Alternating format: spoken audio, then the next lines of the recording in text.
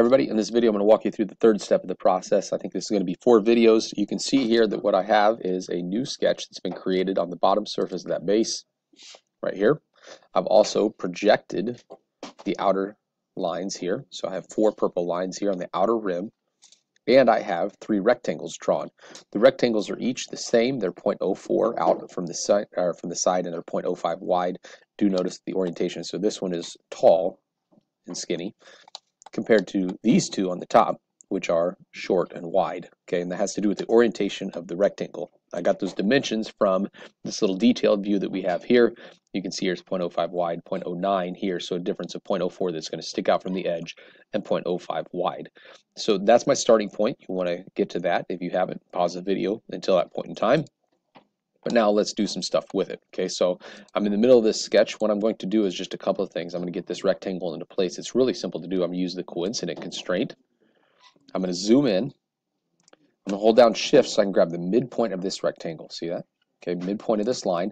And I want that midpoint to lie directly on top of the midpoint of this purple line here. So shift button is being held down again.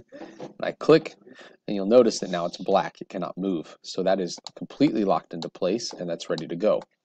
Up here, it's a little bit different. What I'm going to do is I'm going to say that this needs to lie on top of this. But you'll notice the coincident constraint doesn't work because they're lines. So I'm going to use collinear instead. And when I use the collinear constraint, it'll let me. Okay, I'm going to come over here and say this needs to lie on top of this line. There we go, it's locked in. And the same thing goes for the other one. So now, those are both on the right line, I just need to say then, I need to keep these things, hit escape so I get done with the collinear constraint. I need to keep them from moving left right like this. Okay, so that's just a couple of quick dimensions. And I'll notice that if I zoom in a little bit on this, that I have a dimension of, to the midpoint of this line, 0.95 from the right surface to the mid middle. Okay, that's a center line, the middle of the rectangle, 0.95. So let's come back here.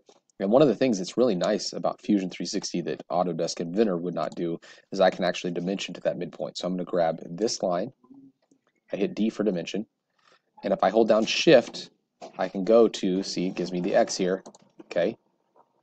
Uh-oh, cancel. What did I lock into? Let's see here. This thing can move left and right. Okay, let's try this again. Ready? Dimension to the midpoint, down to this line, and it actually lets me dimension to that midpoint 0.95. Whoops, accidentally clicked enter instead. Let me go to edit this 0.95. So I'm going to do the same thing to the other side. I need to pull that up here. That is, uh, let's see here, 1.94 to the middle of the back rectangle. 1.94, same idea. Dimension, zoom in, shift button held, midpoint 2, front surface is 1.94. So I've got those locked into place. All three rectangles are ready to go. Okay. Now, before I get done, there's a couple of things that I'm going to go to get all three of, of the rectangles that are, are remaining. I'm going to use a mirror pattern in order to do that. Now, I could easily just go through and, and create all six of these rectangles. It's not that big of a deal, but I do think this is a nice little um, a nice little step for, for making things easier. So I'm going to go here. I'm going to draw a line that goes from the midpoint all the way to the midpoint on the other side. Click OK, and I am going to take that and turn it into a construction line by clicking on it and highlighting it and hitting X. I'm going to do the same thing from top to bottom here. So midpoint all the way down to midpoint. I'm going to hit escape, so I'm done with that. Click on it, X. So I have a couple of lines that subdivide the bottom of this base, and now I can go through and I can use the mirror constraint, or the, the mirror command. So create, mirror, Okay, and what I want to mirror is the objects are, let's see here, uh, I don't know if it's going to let me do this, okay? It doesn't like me to do this. Okay, well, um, we'll use those in just a second, I guess. Hmm, that's interesting. I, I can't, oh, sorry, wrong mirror. I have to go to Sketch tab and use this mirror. So the mirror that's in Create is for 3D mirroring, mirroring of features.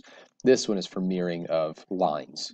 So click on this one instead. There we go. Okay. The objects that I want to use. Now notice one, two, three, four. All four of the rectangle. And this one as well. One, two, three, four.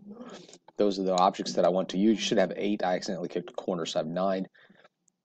Mirror line is going to be this. I click OK. You'll notice that now I have the rectangles on the bottom as well. So let's repeat that then. Sketch. Let's mirror this rectangle. One, two, three, four.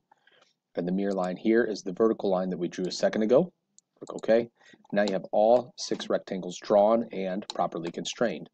I'm ready to stop the sketch. Let's look at this thing. Oh, not from the above. Let's look at it from below. And now I want to extrude, and I'm just going to choose all six of the rectangles. One, two, three, four, five, six. I'm going to zoom out a little bit so I can see. I extrude these upward. It's not a cut, it's a join. And it's not a distance, it is a to object. The object that I want to go to is, see if I can get here, whoop, whoop, whoop, whoop, whoop, whoop, this one, okay?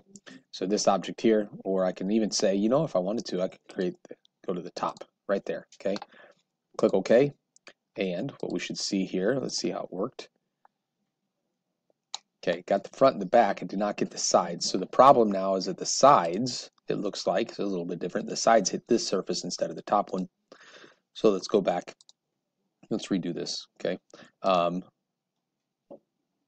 edit, the, edit the feature to the object. The other object that I want to extrude to is going to include then, whoops, let's try that again. Right click, edit the feature. I want to go to, um, the object is going to also include these. So I'm gonna hold down maybe shift, see, can give me all of them? Hmm. So it looks like it's struggling with that a little bit.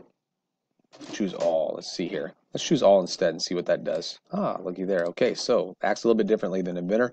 We can choose all, and it goes all the way to the next object. So there we go. We have the tabs created. So that's good for this video. I got one more video left to create. It's going to be how do I adjust the material and the appearance to make it that nice see-through green color that we see in the actual part.